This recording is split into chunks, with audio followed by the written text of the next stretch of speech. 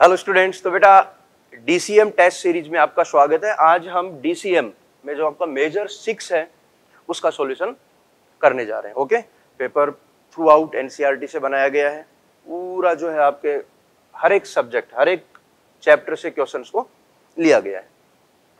और बिल्कुल question NCERT से आपके एग्ज़ाम ओरिएंटेड है। और थोड़ा सा बेटा आपको पता है, इतने टेस्ट आप दे चुके हो, इतनी अच्छी प्रैक्टिस हो गई होगी आपकी, क्योंकि आपने नॉलेज जो है वो पूरी गेन कर ली है। पूरा सिलेबस रिवाइज कर लिया है अच्छे से। अब केवल दो ही मेजर फैक्टर बचते हैं। एक तो आपकी स्पीड और दूसरा आपकी एक्यूरेसी और मैं आपको बताना चाहूँगा बेटा कि स्पीड और एक्यूरेसी दोनों का अगर अच्छा सामंजस्य बैठ गया ना तो आप एक बड़ा स्कोर अचीव कर सकते हो। क्योंकि दोनों चीज़ें बहुत इंपॉर्टेंट है। स्पीड आपकी बेटर हो और एक्यूरेसी बेटर हो। अगर स्पीड ज़्यादा है एक्यूरेसी अगर कम है तो दिक्कत। एक्यूरेसी ज़्यादा है और स्पीड अगर आपकी कम है तो स्कोर अच्छा गेन नहीं कर पाओगे। और वो तभी आएगी जब आप प्रैक्टिस करोगे। ठीक है? कि कम समय में आप क्वेश्चन को कितना जल्दी जो है क्वेश्चन के आंसर पे जा रहे हो। मिनिमम टाइम में। और बायोलॉजी में आपको पता है मिनिमम टाइम देना पड़ेगा आपको। क्लियर तो करें स्टार्ट तो यहाँ देखो आपके क्वेश्चन जो है पार्ट ए में क्वेश्चन लिए हैं। पहले मैं उसका डिस्कशन करूँगा, उसके बाद में पार्ट बी का डिस्कशन करेंगे। क्लियर तो यहाँ सबसे पहले अपन बात कर रहे हैं बेटा question number 151 okay species confined to that region and not found in anywhere else is called. बड़ा सिंपल है। एक जाति एक क्षेत्र तक सीमित है तथा कहीं अन्यत्र नहीं पाई जाती कहलाती है। बिल्कुल सिंपल है। उस जाति को क्या कहोगे आप? एंडेमिक ओके एक्सटिंक्ट आप जानते हो। एंडेंजर्ड जो एक्सटिंक्ट होने वाली है संकटग्रस्त है इकोनॉमिक का कोई लेना देना नहीं है तो ऑब्वियसली यहाँ पर आंसर क्या होगा आपका? एंडेमिक स्पीसीज सिंपल है? ओके okay, बेटा अब चलते हैं नेक्स्ट क्वेश्चन पे। सेकेंडरी सक्सेशन टेक्स प्लेस बिल्कुल सिंपल क्वेश्चन है। सक्सेशन वैसे भी इंपॉर्टेंट टॉपिक आपका। प्राइमरी सक्सेशन सेकेंडरी सक्सेशन सारे आप स्टडी करते हो। प्राइमरी सक्सेशन कहाँ होगा? जहाँ पर पहले से कोई भी जो है प्लांट वगैरह ना हो या एक तरह से आप बोल सकते हो सब स्टेटम अपसेंट हो।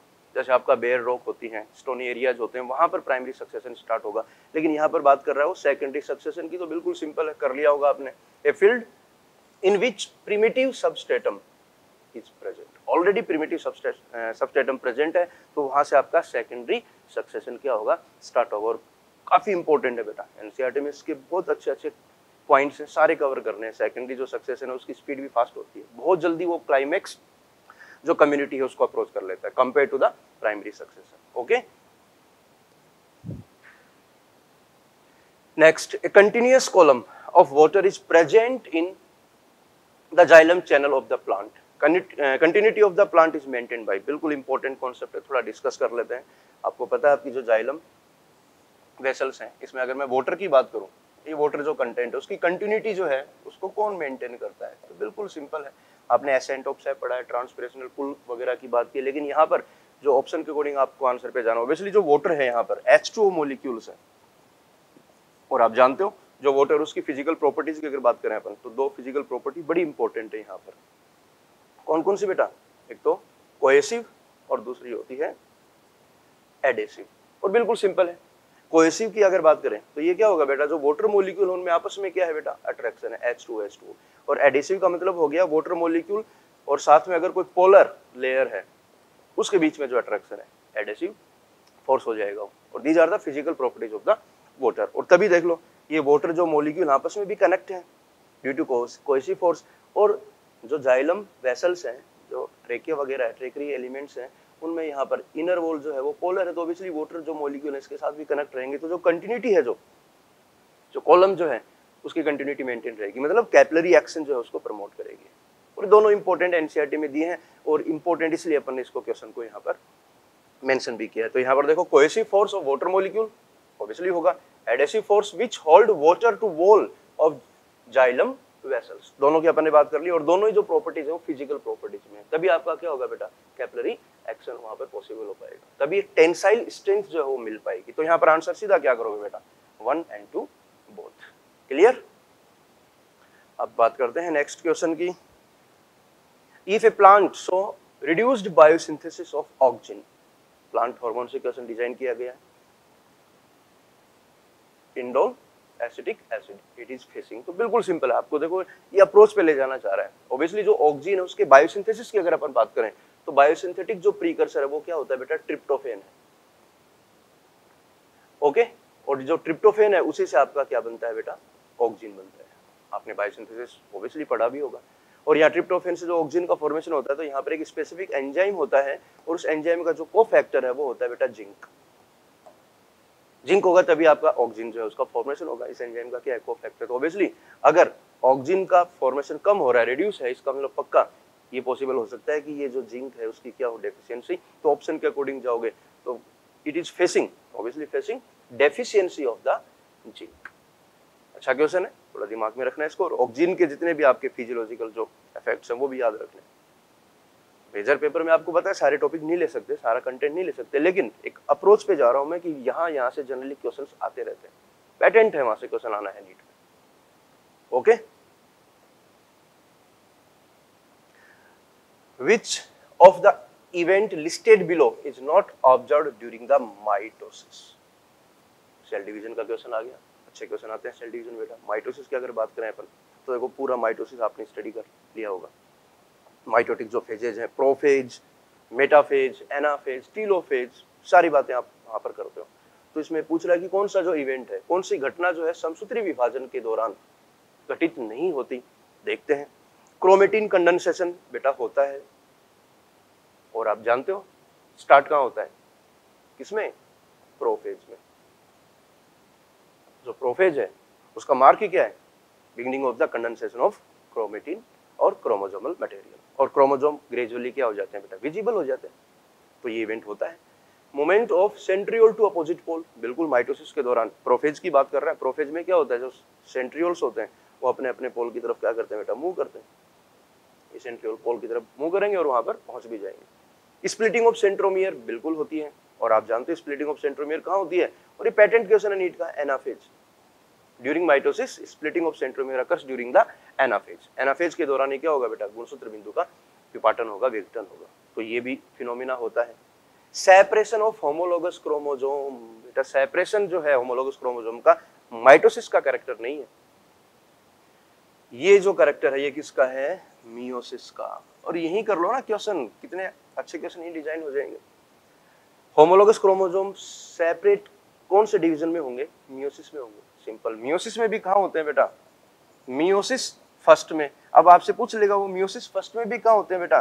प्रोफेज फ़र्स्ट में। और बेटा प्रोफेज फ़र्स्ट में जो है सॉरी मियोसिस फ़र्स्ट में कहा होंगे? आपके एनाफेज फ़र्स्ट में।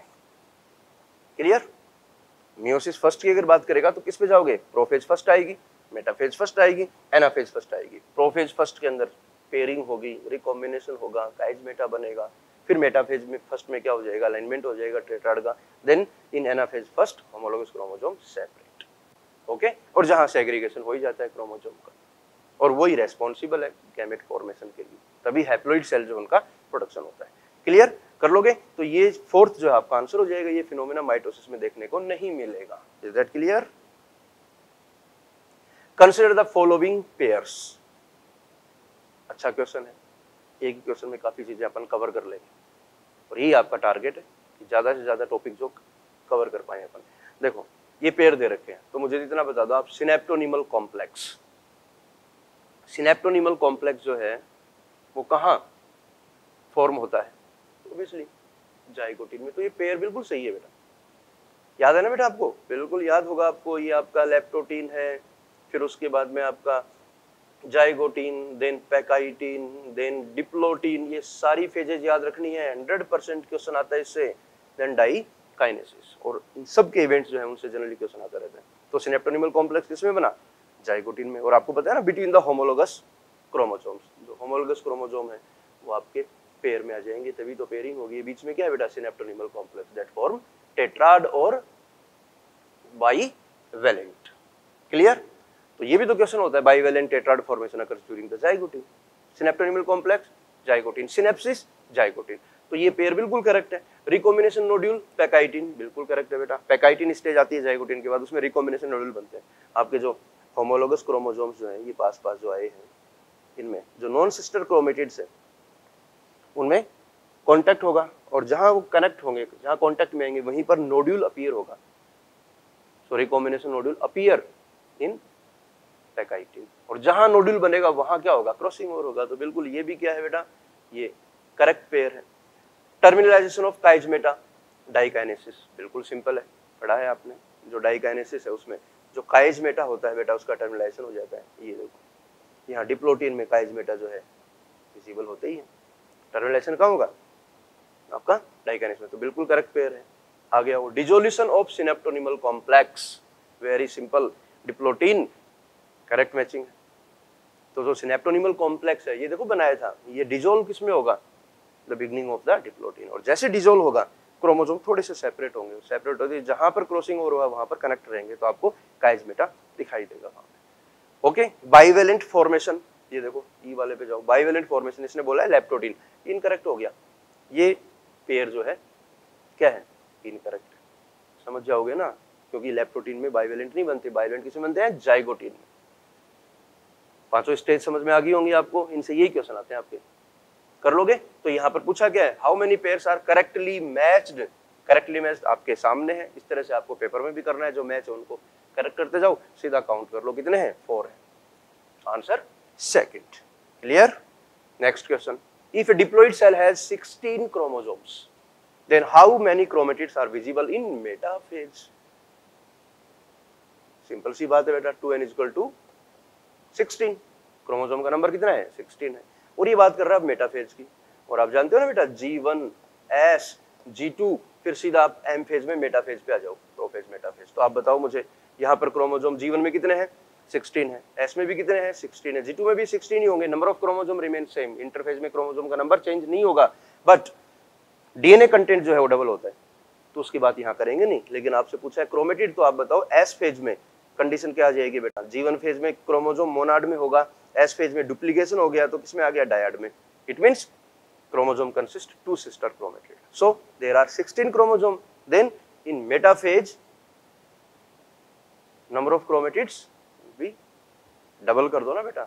16 का डबल कर दो 32 तो मेटाफेज स्टेज में जो अलाइनमेंट हो रखा है उनका तो आप वहाँ काउंट कर लेना। टोटल क्रोमोजोम तो कितने होंगे बेटा? 16 होंगे but each chromosome consist two chromatid तो टोटल क्रोमेटिड का नंबर पूछा है तो क्या करोगे? 32 वेरी सिंपल ऐसे क्वेश्चन डिज़ाइन कर देता है, इसलिए सारे कॉन्सेप्ट क्लियर होने चाहिए आपके। और मैंने बता दिया आपको नंबर ऑफ़ क्रोमोजोम जो है इंटरफेज में चेंज नहीं होता but DNA content become double in S phase अगर यहाँ पर टू सी है तो यहाँ फोर सी इसमें भी क्या रहेगा? फोर सी और ये क्वेश्चन भी कॉमन क्वेश्चन है, जो आपने सोल्व किए भी होंगे। Next which of the following statement is correct about the plant cytokinesis बहुत इंपॉर्टेंट है साइटोकाइनेसिस को। इसीलिए लिया है कि थोड़ा थोड़ा आपकी प्रैक्टिस हो जाए। क्योंकि साइटोकाइनेसिस जो है क्वेश्चन पूछता रहता है। और आप जानते हो बेटा साइटोकाइनेसिस की बात करें, ये लो क्लियर हो जाएगा क्योंकि सॉल्यूशन का मतलब ये है आपको थोड़ा सा चीज़ें और एक्स्ट्रा बताना ताकि फ़ायदा हो जाए। साइटोकाइनेसिस जो है, दो टाइप से होता है। एक तो फरो मेथड और दूसरा cell plate method furrow method किसका करेक्टर बेटा? एनिमल सेल और प्लेट मेथड किसमें होता है? प्लांट सेल में। ये तो एग्ज़ाम में क्वेश्चन पूछता है।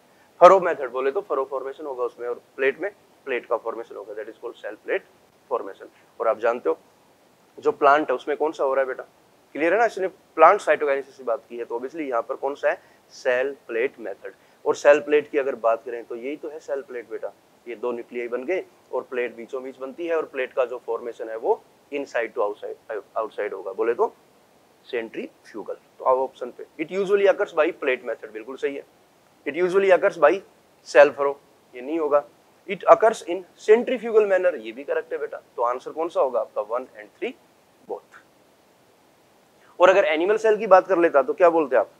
फरो मेथड तो है ही बट सेंट्रीपीटल मैनर क्योंकि यहाँ पर जो फरो बनता है, ये फरो जो बन रहा है, देख लो बेटा। आउटसाइड टू इनसाइड ये डीप होता जाएगा और कनेक्ट हो जाएगा दो सेल बन जाएगी। That is centripetal and that is centrifugal manner inside to outside that is outside to inside कर लोगे साइटोकाइनेसिस से कोई भी क्वेश्चन आए अटेम्प्ट करना है आपको अच्छे से। Next which of the following is common between bacteria and mitochondria ठीक है सिंपल क्वेश्चन है, लेकिन बड़ा अच्छा क्वेश्चन है। माइटोकॉन्ड्रिया और बैक्टीरिया में। कंपैरिजन कभी आपने स्टडी किया होगा, देखो। इन दोनों में circular double standard DNA present होता है। स्टोन प्रोटीन दोनों में एबसेंट है। प्रोकैरियोट में स्टोन प्रोटीन नहीं होती है, लेकिन माइटोकॉन्ड्रियल डीएनए में भी स्टोन प्रोटीन एसोसिएटेड नहीं होती। तभी तो वो प्रोकैरियोटिक डीएनए जैसा है बेटा सेवेंटी एस राइबोसोम दोनों में प्रेजेंट है। तो तीनों करेक्टर जो है माइटोकॉन्ड्रिया और बैक्टीरिया में क्या है? सिमिलर है। ओके तो आपका सीधा आंसर क्या हो जाएगा बेटा? फोर्थ में चले जाओगे। ATP synthase enzyme that help in ATP formation present in location का क्वेश्चन है, कई बार डिज़ाइन कर देता है। एटीपी सिंथेज आप बेटा सब जानते हो एटीपी सिंथेज एंजाइम जो ATP synthase FO F okay spherical जो पार्ट है F1 that is catalytic consist active site और इसी में क्या होता है बेटा? आपका जो साइट है, वो क्या करेगी? एडीपी को आईपी के साथ जोड़ेगी एंड फॉर्मेशन ऑफ़ एटीपी लेकिन कब?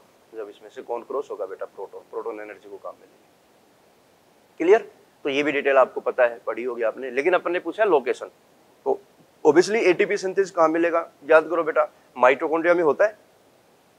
माइटोकॉन्ड्रिया में भी लोकेशन पूछ ले तो क्या बताओगे? इनर माइट्रोकॉन्ड्रियल मेम्ब्रेन क्लियर सही है? क्लोरोप्लास्ट में भी होगा। क्लोरोप्लास्ट में भी कहा? थाइलेकोइड मेम्ब्रेन में प्रेजेंट होता है। क्लियर है ना? सब पढ़े हुए आपके? बैक्टीरियल मेम्ब्रेन, बैक्टीरिया की सेल मेम्ब्रेन में प्रेजेंट होता है।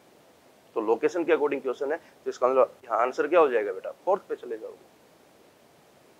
ATP synthase present in mitochondria chloroplast and bacteria but location की बात करें बैक्टीरिया मेम्ब्रेन में। Mitochondria inner membrane chloroplast thylakoid membrane clear select the incorrect matching biomolecule का क्वेश्चन है। ये याद करने पड़ेंगे बेटा, आपको इसलिए क्वेश्चन डाले हैं। अगर आपने सही कर दिया तो अच्छी बात है, और ये अगर गलत कर दिया तो याद कर लेना, क्योंकि ऐसे क्वेश्चन आ जाते हैं प्रॉपर्टीज़ के। ये देखो बेटा, ट्रिप्टोफेन, एरोमेटिक अमीनो एसिड, बिल्कुल सही बात है बेटा। और आपको सबको पता है एरोमेटिक अमीनो एसिड कौन कौन से होते हैं। ट्रिप्टोफेन तो है ही है। इसके अलावा फिनाइल, एलानिन और टायरोसिन ये कौन है बेटा? आपके एरोमेटिक अमीनो एसिड ये इसने आगे क्या बोला है? आर्जिनिन बेसिक अमीनो एसिड बिल्कुल करेक्ट है बेटा। बोले तो positively charge amino acid arginine is the basic amino acid और बताओ, याद होंगे आपको, जो बेसिक अमीनो एसिड उसके एग्जांपल तीन ही तो हैं arginine lysine and histidine simple है? ये भी करेक्ट है। स्टिडीन असेंशियल अमीनो एसिड देखो असेंशियल का भी यहाँ पर कॉन्सेप्ट डाल दिया है। तो आपको याद रखने पड़ेंगे बेटा, जो आपके 20 अमीनो एसिड हैं, उनको दो कैटेगरी में डिवाइड कर रखा है आपने। असेंशियल एंड नॉन असेंशियल याद कर लेना बेटा उनको। दे रखे हैं आपके केमिस्ट्री की एनसीईआरटी के अंदर पूरी लिस्ट दे रखी है असेंशियल नॉन असेंशियल क्वेश्चन पूछ लेता है। ठीक है? तो थोड़ा सा ये एमटीआर हो गया, रटने का हो गया तो स्टिडिन बताओ असेंशियल है कि नहीं है? तो ऑब्वियसली आप जब कैटेगरी डिवाइड करोगे तो स्टिडिन जो है वो असेंशियल एमिनो एसिड में आएगा। ठीक है? तो याद इनको करना ही है।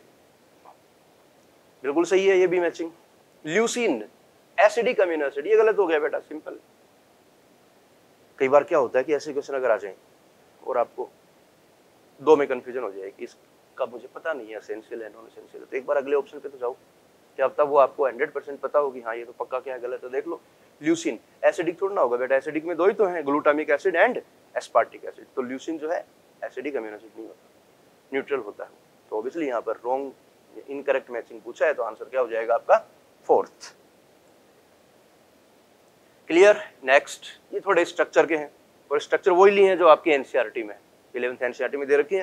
तो स्ट्रक्चर से भी क्वेश्चन डिज़ाइन कर सकते हैं। इसलिए छोड़ के कुछ नहीं जाना है बेटा।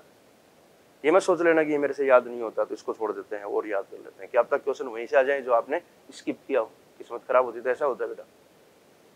Which of the following structure is wrongly labelled जो रॉन्गली लेबल्ड है, उसको सेलेक्ट करना आपको। बताओ, ये स्ट्रक्चर इसने बोला है कि यूरेसिल की है। तो यूरेसिल की स्ट्रक्चर आपको याद होनी चाहिए। देख लो यूरेसिल ही है, जिसमें दो कीटो ग्रुप है। याद है ना यूरेसिल यूरेसिल का केमिकल नेम भी आपने कभी पढ़ा होगा। इसकी नंबरिंग करते हैं तो one two three four five six two four di keto pyrimidine तो ये करेक्ट है।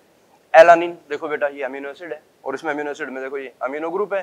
ये कार्बोक्सिल ग्रुप है, ये एच आ गया, ये आर ग्रुप आर ग्रुप में कौन है? सी एस थ्री तो ऑब्वियसली कौन है? एलानिन है। एच होता है आर ग्रुप में, वो ग्लाइसिन होता है। तो ये आपको ट्वेंटी टाइप का अमीनो एसिड भी याद रखना है। तो ये भी करेक्ट है। राइबोज ये राइबोज का बेटा स्ट्रक्चर दे रखा है, बिल्कुल देख लो आपको। ये राइबोज है, इसमें कितने कार्बन है बेटा? फाइव कार्बन होते हैं ना? और ये OH group OH group OH group CH2H obviously structure important है, दे भी रखी है आपकी एनसीटी में राइबोज डीऑक्सीराइबोज ये इसका सेकंड प्राइम देखो। ये फ़र्स्ट प्राइम है ये सेकंड प्राइम थर्ड प्राइम ये फोर्थ प्राइम ये fifth prime carbon second prime पे ओ OH प्रेजेंट है तो ऑब्वियसली पक्का क्या है राइबोज ग्लूकोज की स्ट्रक्चर देखते हैं। सही है गलत है? देखो ग्लूकोज की स्ट्रक्चर में। ये ग्लूकोज ऑब्वियसली क्या है? Glucose C six H twelve और सिक्स सिक्स कार्बन है। क्लियर नंबरिंग देख लो। One two three four five six okay लेकिन रिंग पे देखो, कोई गलती तो नहीं O H O H O H यहाँ पर देखो, ये फोर्थ कार्बन पे जो ओ एच है बेटा ये नीचे की तरफ़ होना चाहिए। तो ग्लूकोज है, ये ऊपर हो गया।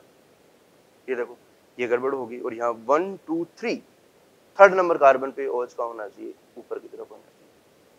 तो इसका मतलब यहाँ पर इसने गड़बड़ कर रखी है तो ये ग्लूकोज नहीं है कर लोगे ना, ग्लूकोज की स्ट्रक्चर याद होगी तभी तो कर पाओगे, वो स्ट्रक्चर एक दो बार देखोगे आपको आइडिया हो जाएगा कि ये करेक्ट है इनकरेक्ट है। तो यहाँ पर ये आपका आंसर भी फोर्थ हो जाएगा, जो क्या है? रोंगली लेबल्ड है। नेक्स्ट क्वेश्चन पे चलते हैं। If mutation occurs in promoter of lac I gene then the structural gene of lac operon will अच्छा क्वेश्चन है बेटा। अब ऐसे क्वेश्चन इसलिए डिज़ाइन किए हैं ये, ताकि आपका उस क्वेश्चन के चक्कर में एक बार पूरा जो है लैकोपेरोन जो है पूरा दिमाग में आ जाए। और ये तभी कर पाओगे जब पूरा लैकोपेरोन आपका क्लियर हो। तो ऑब्वियसली आपको सबको पता है लैकोपेरोन की स्ट्रक्चर की अगर मैं बात करूँ बेटा, ये देखो। स्ट्रक्चरल जीन कौन कौन सी हैं? जेड वाई एंड ए ये इसका क्या है बेटा? ऑपरेटर यहाँ पर होता है प्रमोटर और ये जीन एक और है इसके पास। That is lac I gene समझना बेटा? अच्छा कॉन्सेप्ट है। ये प्रमोटर है इसका and that is lac gene. These are the structural gene. तीन है ना? तीन से स्टोन है structural gene Z Y A और पूरा याद कर लेना लैकोप्रोन से। हर बार क्वेश्चन आता है। और बिल्कुल स्कोरिंग होता है। और ऐसे स्कोरिंग क्वेश्चन भी जिसके गलत हो जाते हैं तो उसको बड़ा नुकसान होता है बेटा और गलत आपको करने नहीं है, बिल्कुल। ठीक है? अब देखो, ये स्ट्रक्चर आपके दिमाग में फिक्स है। अब क्वेश्चन पे चलते हैं। If mutation occurs in the promoter of lac I gene उसने बोला बेटा, ये लेकाइजीन है, ये इसका प्रमोटर है, इसमें क्या हो गया? म्यूटेशन हो गया। तो आप बताओ बेटा प्रमोटर में, इसके प्रमोटर में अगर म्यूटेशन हो गया तो आप ही मुझे बताओगे प्रमोटर जो है चेंज हो गया तो यहाँ पर आरएनए पॉलीमरेज नहीं आएगा ना, क्योंकि लैक आइजीन जो है एक्सप्रेस होती है तो लैक रिप्रेसर प्रोटीन बनाती है। तो पक्का प्रमोटर म्यूटेंट हो गया तो लैक आइजीन एक्सप्रेस नहीं हो पाएगी। नहीं होगी तो लैक रिप्रेसर प्रोटीन नहीं बनेगी। नहीं बनेगी तो ऑपरेटर के साथ जाके बाइंड नहीं होगी, और नहीं होगी तो ऑपरेटर जो है, वो फ्री रहेगा। तो यहाँ आरएनए पॉलीमरेज हमेशा बाइंड होके क्या करेगा? इसका एक्सप्रेशन करवा देगा, और ये ऑन रहेगा। क्योंकि आप जानते हो लैक ऑपरेटन को ऑफ़ कौन करके रखती है lac repressor protein that is the product of lac I gene और ये कॉन्स्टिट्यूटिव होती है। लेकिन इसने बोला है कि भैया म्यूटेशन हो गया प्रमोटर किसके प्रमोटर में? लैक आइजिन के प्रमोटर में। तो प्रोटीन नहीं बनेगी ना, नहीं बनेगी तो ऑपरेटर हमेशा फ्री रहेगा। फ्री रहेगा तो ये हमेशा ऑन रहेगा। तो बताओ, यदि लैक आइजिन के प्रमोटर में उत्परिवर्तन हो जाता है तो लैक ओपेरोन की संरचनात्मक जीन ये जो स्ट्रक्चरल जीन है, उन पे क्या प्रभाव पड़ेगा? क्या होगा? तो सीधा क्या बोलोगे? वो हमेशा एक्सप्रेस होती रहेंगी। कंटिन्यूसली एक्सप्रेस ये कॉन्सेप्ट अगर समझ में आया तो इसका मतलब लैक ओपेरोन आपका क्लियर है। बाकी सिंपल क्वेश्चन तो आते ही हैं। Z cistron codes for beta galactosidase Y cistron codes for permease and A codes for transacetylase जो लास्ट ईयर क्वेश्चन आया भी था। ऐसे इजी क्वेश्चन आते हैं। कर लोगे? हाँ लेकिन दिमाग लगाना इसलिए क्वेश्चन करवाया है कि इसके आगे पीछे भी सोचना। दिमाग लगा सकता है, क्योंकि आजकल इन चीज़ों पे क्वेश्चन ज़्यादा फ्रेम कर रहा है वो। अगर क्वेश्चन ये होता, बेटा, समझना, पूरा दिमाग लगाना, इसमें दो तीन क्वेश्चन करवाऊँगा मैं। इस प्रमोटर जो स्ट्रक्चरल जीन का प्रमोटर वो ये है। अगर स्ट्रक्चरल जीन के प्रमोटर में म्यूटेशन हो जाए तो क्या होगा? तो आप बताओगे, क्या होगा? ये अगर म्यूटेंट हो गया, बेटा प्रमोटर तो इस पे आरएनए पॉलीमरेज कभी नहीं आएगा। कभी नहीं आएगा तो ये ज़िंदगी में कभी भी ऑन नहीं होगा, हमेशा क्या रहेगा? ऑफ़ रहेगा फिर। क्योंकि ये प्रमोटर म्यूटेंट हो गया तो आरएनए पॉलीमरेज कहाँ से बाइंड होगा? नहीं होगा ना? नहीं होगा तो हमेशा ऑफ़ रहेगा। क्लियर फिर देखो, सब कुछ नॉर्मल है। अब मैं कह रहा हूँ कि आपका जो ऑपरेटर है, ये ऑपरेटर दिमाग लगाना बेटा पूरा, इस ऑपरेटर में अगर म्यूटेशन हो गया तो बेटा अगर ऑपरेटर में म्यूटेशन हो जाएगा तो आप बताओ जो लैक रिप्रेसर प्रोटीन जो बनती रहती है, वो इस पे बाइंड हो ही नहीं पाएगी। क्योंकि ऑपरेटर में म्यूटेशन हो गया चेंज हो गया तो प्रोटीन इसको रिकॉग्नाइज नहीं करेगी, नहीं पहचान पाएगी तो इसके साथ ये प्रोटीन जो बाइंड नहीं होगी तो हमेशा ही खाली रहेगा फ्री रहेगा। तो इसका एक्सप्रेशन फिर कंटिन्यूसली होता रहेगा। सारा खेल इस पर डिपेंड करता है। ऑपरेटर पे। ऑपरेटर फ्री है ऑन ऑपरेटर पे प्रोटीन बाइंड हो गई ऑफ़ हो जाएगा। तो म्यूटेशन वाले क्वेश्चन जो है कनेक्ट कर लेना। कहीं स्पिन कर दे और जल्दीबाजी में गलत ना कर दो। इसलिए थोड़ा इन पे दिमाग लगाना। ओके कर लोगे? कंटिन्यूसली एक्सप्रेस ये आपका हर्षे चेस का एक्सपेरिमेंट जो है, उससे क्वेश्चन डिज़ाइन किया है। बड़ा इंपॉर्टेंट है। और जो नीट का पेटेंट क्वेश्चन है वो आप बताइए। जो अक्सर पूछता रहता है कन्फर्मेटरी एविडेंस किसने दिया था? हर्षे चेस ने that DNA is the genetic material unequivocal proof that uh, DNA is the genetic material came from the experiment of Hershey and Chase. और उसने किस पे एक्सपेरिमेंट किया था? बैक्टीरियोफेज पे। किस पे किया था बेटा? परीक्षण? बैक्टीरियोफेज पे। और बड़ा कॉम्प्लिकेटिव एक्सपेरिमेंट है। डिपेंड ऑन रेडियो एक्टिविटी तो पूरा, आपने देखा इसको? पूरे एक्सपेरिमेंट को भी देखा होगा। पूरा याद भी होगा आपको। इसने बोला है Chase experiment used radioactive sulphur and radioactive phosphorus in these experiment because इतना तो याद है ना, उन्होंने रेडियोएक्टिव सल्फ़र और रेडियोएक्टिव फॉस्फोरस को काम में लिया था। इसका रीजन उसने पूछा, क्यों? और रीजन मालूम है, इसका मतलब आपको एक्सपेरिमेंट क्लियर है। आपको पता है ना बेटा डीएनए ये डीएनए है। और ये प्रोटीन है। भाई, बैक्टीरियो फ़ेज़ में दो ही तो आइटम है, एक तो डीएनए है और दूसरा प्रोटीन है। और उन दोनों को हर्षेचेस को यही पता लगाना था कि जब इन्फेक्शन करता है ये बैक्टीरिया में तो उसका डीएनए एंटर होता है, प्रोटीन एंटर होती है। और उसको अगर डिटेक्ट करना है तो ऑब्वियसली रेडियो एक्टिविटी इनकॉर्पोरेट करनी पड़ेगी। तभी आप डिटेक्ट कर पाओगे कि एंटर कौन हुआ है। इसलिए उन्होंने सल्फ़र और फॉस्फोरस काम में लिया। क्यों? क्योंकि बेटा, डीएनए जो है, उसमें फॉस्फोरस होती है, लेकिन सल्फ़र नहीं होती। और जो प्रोटीन है, उसमें सल्फ़र होती है बट फॉस्फोरस नहीं होती। इसलिए ये अलग अलग हो गए। अगर कार्बन को रेडियो एक्टिव ले लेते तो दोनों में कार्बन है बेटा। हाइड्रोजन दोनों में ऑक्सीजन दोनों में है। नाइट्रोजन दोनों में है बट सल्फ़र और प्रोटीन जो है सॉरी सल्फ़र और जो फॉस्फोरस है दोनों में जो है कॉमन नहीं है। इसलिए उन्होंने उनको रेडियो एक्टिव लिया। सिंपल है ना? तो आंसर पे जाओ। Because sulphur present in protein but absent in DNA and phosphorus present in DNA but absent in the protein ये आपका आंसर हो जाएगा। थोड़ा उसको थ्योरेटिकली डिज़ाइन किया है, लेकिन कॉन्सेप्ट अच्छा है। कर लोगे हर से जैसे एक्सपेरिमेंट इस क्वेश्चन के साथ पूरा क्लियर होना चाहिए। और ये प्रैक्टिस आपको करनी है ये क्वेश्चन आ गया, उस टॉपिक को कवर कर लें। कवर है तो अच्छी बात है, नहीं है तो तुरंत उसको कवर करो। अब ये आपका प्रमो, जो यूनिट्स हैं structural gene promoter terminator these are the transcriptional unit अनुलेखनी इकाइयाँ, उनसे क्वेश्चन बनाए हैं। अच्छा क्वेश्चन है, देख लो। मालूम भी होगा। आपको identify A and B diagram दे रखा है। इसमें ये है ए और ये है बेटा बी इनको आइडेंटिफाई करना है। बड़ा सिंपल है। सबने याद कर रखा होगा। ये प्रमोटर है आपका। ये टर्मिनेटर है और ये स्ट्रक्चरल जीन है बोले तो सिस्ट्रॉन तो ए स्ट्रेन कौन है? देख लो। प्रमोटर के रेस्पेक्ट में जिसकी डायरेक्शन थ्री टू फाइव है, वो टेम्पलेट होती है। और जिसकी फाइव टू थ्री है वो कोडिंग होती है। तो जो ए स्ट्रेंड है, बिल्कुल क्लियरली दिख रहा होगा that is the template strand रटने का नहीं है बेटा, ये और बी कौन है बेटा? कोडिंग स्ट्रेंड और बड़ा प्यारा स्टेटमेंट है आपका एनसीआरटी का। Promoter define the template and coding strand promoter के रेस्पेक्ट में आप बता पाओगे टेम्पलेट कौन सी है और कोडिंग कौन सी कर लोगे? बड़ा सिंपल है। रीड द फॉलोइंग स्टेटमेंट कुछ स्टेटमेंट है आपके? एनसीआरटी के स्टेटमेंट है। पहले इनको रीड करते हैं। Photoperiod effect reproduction in seasonal breeder both plants and animal बिल्कुल करेक्ट है। आपके एनसीआरटी का स्टेटमेंट फ़ोटो पीरियडिज्म जो है, दोनों को क्या करता है? अफेक्ट करता है। तो आपके चाहिए प्लांट्स एनिमल जो ब्रीडिंग करते हैं उसको अफेक्ट करेगा। Increase in body mass is considered as reproduction बेटा गलत है। बॉडी मास इंक्रीज हो रहा है तो उसको रिप्रोडक्शन तो ना बोलोगे। ग्रोथ है वो। रिप्रोडक्शन नहीं है। रिप्रोडक्शन का मतलब क्या है? प्रोजेनी का फॉर्मेशन तो ये स्टेटमेंट इनकरेक्ट है। Metabolism is defining property of all living organism बिल्कुल सही है बेटा। मेटाबोलिज्म है आपका। कॉन्शियसनेस है। These are the defining property of the living organism क्योंकि यहाँ पर कोई एक्सेप्शन होता ही नहीं। Self consciousness is defining property of every living organism बिल्कुल गलत बात है बेटा। Self consciousness only present in human beings consciousness is the character of all organism but self consciousness जो है स्वय चेतना जो है, वो केवल किसका लक्षण है? मनुष्य का लक्षण है। तो ये स्टेटमेंट क्या हो गया? इनकरेक्ट हो गया। पूछा क्या है? देख लो चूज़ द करेक्ट स्टेटमेंट्स कौन कौन से करेक्ट दिख रहे हैं आपको? ए एंड ई राशि। तो आंसर क्या हो जाएगा आपका? करेक्ट पूछा है ना तो करेक्ट पे जाना आपको ए और सी करेक्ट क्लियर ओके अब चलते हैं नेक्स्ट क्वेश्चन पे।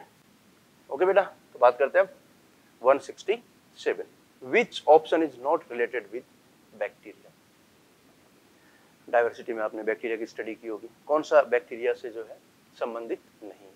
आप बताओगे बेटा नाइट्रोजन फिक्सेशन एबिलिटी होती है बैक्टीरिया में? सही है। फोटोसिंथेटिक एबिलिटी बिल्कुल बैक्टीरिया फोटोसिंथेसिस भी करते हैं। यूजफुल इन जेनेटिक इंजीनियरिंग आपने जेनेटिक इंजीनियरिंग में इनका यूज़ भी किया है बेटा। Bacillus thuringiensis Agrobacterium tumefaciens as a host भी काम में लेते हैं, इनसे अपन प्लाज्मिड भी ऑब्टेन करते हैं। गैमेट एंड जायगोट फॉर्मेशन बेटा, ये प्रॉपर्टी बैक्टीरिया में नहीं होती तो आंसर भी आपका फोर्थ है। भाई बैक्टीरिया में कहाँ से जायगोट बनेगा, कहाँ से गैमेट बनेंगे? बैक्टीरिया जानते हो ना बेटा, एक ही तो डीएनए होता है। जीनोम मोनोप्लॉइड है। तो यहाँ मियोसिस होता ही नहीं है। बैक्टीरिया में प्रोग्रेड में आपको पता है ना माइटिस होता है ना मियोसिस होता है। माइटिस होता है बाइंड डिफ्यूजन जिसको बोल देते हैं। ठीक है? तो यहाँ पर गैमेट फॉर्मेशन आपका जाइगोट फॉर्मेशन इनका कोई भी सिग्निफिकेंस नहीं है। सिंपल है question collenchyma tissue is anatomy का आपका क्वेश्चन है। बिल्कुल सिंपल है। कोलेनकाइमा सब रट के रखते हो। कोलेनकाइमा जो है वो लिविंग टिश्यू है और मैकेनिकल है। फ़ंक्शन उसका मेन क्या है? मैकेनिकल सपोर्ट प्रोवाइड करवाएगा। और ये living tissue that is living mechanical tissue clear कर लोगे? ठीक है बेटा? तो अब बात करते हैं question number 169 which of the following character is not related with parenchyma कौन सा? लक्षण मृदुतक से संबंधित नहीं है। पेरेंकाइमा आप बिल्कुल जानते हो परमानेंट टिश्यू का एग्जांपल है। तो कौन सा करेक्टर नहीं देखो पेरेंकाइमा की बात करें, जो सेल्स होती हैं, आपको पता है बेटा, सामने था आइसोडायमेट्रिक होती है, समव्यासी होती है। पैक्ड भी होती हैं और इनमें आईसीएस भी प्रेजेंट हो सकता है intercellular space clear it form the major component within organ बिल्कुल इंपॉर्टेंट है बेटा, सही बात है। ऑर्गन की अगर बात करें तो मेजर कंपोनेंट में कौन से हैं? पेरेंकाइमेटस टिश्यू प्रेजेंट होते हैं। और ये फंक्शनली बहुत इंपॉर्टेंट है। करेक्ट है? सेल आर जनरली आइसोडायमेट्रिक बिल्कुल करेक्ट स्टेटमेंट है। सेल्स में आइदर बी क्लोजली पैक्ड और हैव स्मॉल इंटरसेलुलर स्पेस बिल्कुल सही बात है। Cell wall are thick and lignified incorrect हो गया बेटा आप जानते हो ना भाई पेरेंकाइमा जो है, उसमें लिग्निफिकेशन नहीं होता। लिग्निफिकेशन इसका कैरेक्टर नहीं होता। वो फिर कोलन कायमा आगे फिर जाओगे आप फर्दर तो वहाँ पर लिग्निफिकेशन स्टार्ट होता है। ठीक है? जैसे आपका स्क्लेरन कायमा वगैरह जो होते हैं डेड जो होते हैं, वहाँ पर उनकी वो मेन प्रॉपर्टी है। कर लोगे? तो ये स्टेटमेंट इनकरेक्ट है और पूछा भी है तो आंसर क्या हो जाएगा आपका? Fourth next read the following statements कुछ स्टेटमेंट दे रखे हैं, वो आपको रीड करने फिर उसमें बात करेंगे कि कौन सा बैक्टीरियल पीली जो है, जो जीवाणु के अंदर जो रोम होते हैं, पीली, उनसे रिलेटेड देखो they are made up of pilin protein they are shorter than flagella help in genetic recombination play important role in movement तो आप बेटा, पिली की बात करें तो मेरे ख्याल से सब जानते हो ये बैक्टीरिया है। इस बैक्टीरिया में ये ट्यूबुलर स्ट्रक्चर जो है, इसको अपन बोलते हैं पिली, पिलाई। Okay and pili is made up of specific protein that is called pilin protein लेकिन आपको पता है अदर जो सरफेस स्ट्रक्चर होती है बैक्टीरिया में, उनकी बात कर लें ये लो बेटा, ये फिम्बरी है, ये फिम्बरी नंबर में बहुत ज़्यादा होती है, बहुत शॉर्ट होती है। फिम्बरी फिम्बरिन प्रोटीन की बनी होती है। बैक्टीरिया में जो फ्लेजिला होता है, वो बहुत लॉन्ग होता है। और ये तीनों स्ट्रक्चर आपने स्टडी किए फ्लेजिला का function help in movement pili help in recombination और conjugation and fimbriae help in attachment ये क्वेश्चन आते हैं, नीट में हो रहा था क्या? तो देखो मेडअप ऑफ़ पिलीन प्रोटीन बिल्कुल सही है। They are shorter than flagella correct है? फ्लेजिला से शॉर्ट है।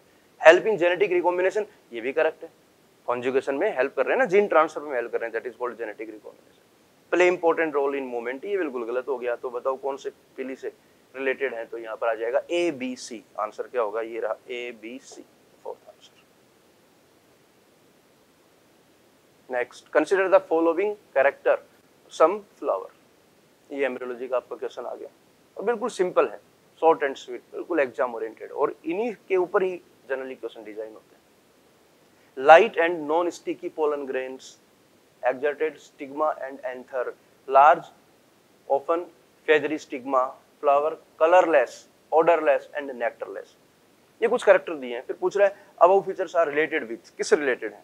तो ऑब्वियसली ऐसे अगर करेक्टर होंगे जिनमें पोलन ग्रेन लाइट है नॉन स्टिकी है स्टिग्मा और एंथर जो है, वो क्या है बेटा? बाहर की ओर निकले हुए हैं। Large open feathery stigma present है। जो फ्लावर है, वो रंगहीन है, गंधहीन है, मकरंदहीन है। तो इसका मतलब पक्का इंसेक्ट के थ्रू तो पोलिनेशन होगा नहीं। क्लियर तो ये जो करेक्टर हैं ये किसके लिए होते हैं? जहाँ पर क्या होती है बेटा? एनिमोफिली वायु परागण। और बिल्कुल सिंपल है, सारे आपने स्टडी किए। सबके अलग अलग करेक्टर होते हैं अडेप्टेशन होते हैं कि एनिमोफिली के लिए कौन कौन से करेक्टर जो है रिक्वायर्ड है। कर लिया होगा ये बड़ा सिंपल है। ये लो बेटा आंसर क्या होगा इसका? Anemophily which of the following is not water pollinated plant कुछ एग्ज़ाम्पल दिए आपके। हाइड्रोफिली एनोफिली वो मैंने बात की थी अभी। वो सारे याद कर रहे हैं, उनसे डायरेक्ट क्वेश्चन आ भी जाते हैं। तो देख लो वाटर पोलिनेटेड प्लांट कौन कौन से हैं? पहले तो वो बताओ। बेटा, ये सारे एग्ज़ाम्पल आपके Zostera Hydrilla Vallisneria water pollinated plant लेकिन जो आपका कैनाबिस है, उसमें पोलिनेशन वाटर के थ्रू नहीं होता। तो सीधा सिंपल है, बिल्कुल आंसर आपका हो जाएगा फोर्थ एग्ज़ाम्पल है, याद करने पड़ेंगे। और एम्ब्रियोलॉजी से अच्छे क्वेश्चन आते हैं बेटा। लगभग अप्रोक्स आपको सिक्स क्वेश्चन मिल जाएँगे। और बिल्कुल स्कोरिंग है वहाँ पर भी। Match the following column first and second ये कुछ एग्जांपल्स अपन ने लिए। इसने कॉलम फ़र्स्ट में दिया साइक्लोस्पोरिन ए एंड स्टेटिन और दोनों ही बड़े इंपॉर्टेंट है बेटा। काफ़ी बार क्वेश्चन आ चुका है इनसे साइक्लोस्पोरिन जो ए है बेटा that is the immunosuppressive drug और एक तरह से बायोएक्टिव मोलिक्यूल है, जिसको अपन ऑप्टेन करते हैं किससे? ट्राइकोडर्मा पोलीस्पोरम से। तो देखो इसमें, इसको मैच करवाते हैं। साइक्लोस्पोरिन ए इसको कनेक्ट किससे करोगे बेटा? ये इम्यूनोसप्रेसिव ड्रग है, ये आपका ट्राइकोडर्मा से ऑप्टेन करते हैं। बिल्कुल दोनों कनेक्ट हो जाएँगे। स्टेटिन स्टेटिन भी बायोएक्टिव मॉलिक्यूल है और बड़ा important statin obtained from Monascus purpureus and Monascus purpureus is yeast एक तरह की क्या है? ईस्ट है और ये ब्लड कोलेस्ट्रॉल लोअरिंग एजेंट का काम करता है।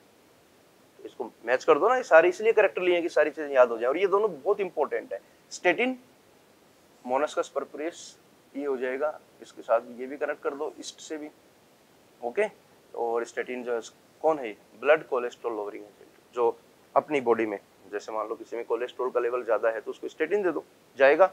और जो ब्लड कोलेस्ट्रॉल या बोल दो कोलेस्ट्रॉल सिंथेसाइजिंग जो एंजाइम है, उसका ये कॉम्पिटिटिव इनिबिटर होगा। कॉम्पिटिटिव इनिबिशन करेगा। ऑब्वियसली कोलेस्ट्रॉल का लेवल क्या हो जाएगा? कम हो जाएगा।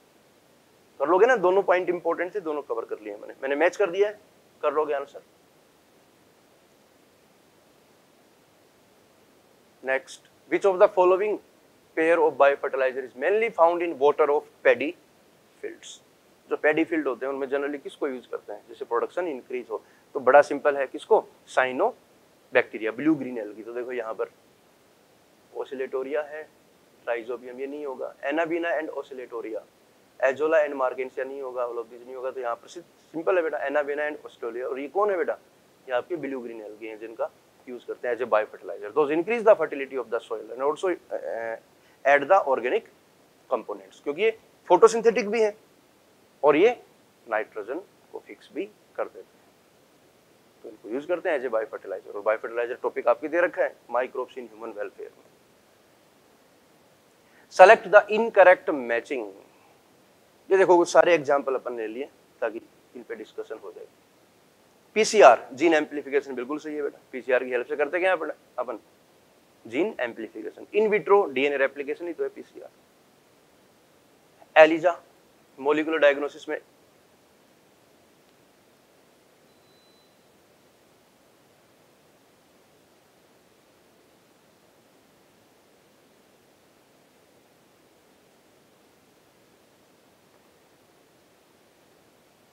मोलिकुलर डायग्नोसिस में देख लो बेटा। एलिजा जो है उसका रोल है। मोलिकुलर डायग्नोसिस में कुछ एग्जांपल दिए ना PCR ELISA genetic engineering helpful for the molecular diagnosis तो ये भी सही है। पीबीआर 322 आर्टिफिशियल वेक्टर बिल्कुल करेक्ट है बेटा। थ्री टू बहुत इंपॉर्टेंट है। डायग्राम भी याद रखना उसका। पूरा डायग्राम याद करके जाना। क्वेश्चन आता है उससे। और ये नेचुरली प्रेजेंट नहीं होता। Artificially constructed and constructed by the Bolivar and Rodriguez जिसके अंदर आपके, ये रफली बता रहा हूँ, ऐसे याद होगा आपको, जिसमें A M P R gene होती है, इधर होगी T T R gene ori site होगी, आपका रोप जीन होगी, ये सब याद रखने हैं, और जो आ रही है, उनके लिए रेस्ट्रिक्शन साइट भी प्रेजेंट है। तो पूरा P B R three twenty two structure याद कर लेना क्वेश्चन आता है hundred percent lysozyme break all type of cell wall ये गलत हो जाएगा बेटा। आंसर भी यही है इनकरेक्ट हो गया। क्योंकि लाइसोजाइम आपको पता है ना कौन है लाइसोजाइम ये क्या करता है बेटा? ये बैक्टीरियल सेल वॉल को ब्रेक करेगा। बैक्टीरियल सेल वॉल और करता क्या lysozyme lysozyme catalyse the breakdown of beta one four glycosidic bond present between NAG and NAM तो बैक्टीरियल सेल वॉल डाइजेस्ट हो जाएगी ब्रेक हो जाएगी। और इसको यूज़ करते हैं जब आपको जेनेटिक मटेरियल को क्या करना है? ऑप्टेन करना है बैक्टीरिया से। तो ये सभी प्रकार की कोशिका भित्ति को नहीं तोड़ेगा, ये बैक्टीरियल सेल वॉल को क्या करेगा? ब्रेक करेगा। क्लियर लेकिन ये जो मैंने अभी बताया ना बेटा फोकस करना आपको, ये सब आपके क्लियर होने चाहिए क्योंकि अपने आप में बड़े बड़े टॉपिक हैं पीसीआर बहुत इंपॉर्टेंट है अक्सर क्वेश्चन आता है इससे। अलीजा टेक्निक मालूम होनी चाहिए। ये स्ट्रक्चर मैंने बताया, इससे भी क्वेश्चन आता रहता है। सब टिप्स पे होने चाहिए बेटा। मैं फिर कह रहा हूँ, अब इस लेवल पे आ गए आप लोग। जो भी मेजर सिक्स तक पहुँचे हैं बेटा, सारे मेजर सारे माइनर जिन्होंने दिए हैं डीसीएम पूरी सीरीज़ ज्वाइन की है। तो मेरे ख्याल से आपका अभी तक 90 95 परसेंट जो पार्ट टिप्स पे हो जाना चाहिए।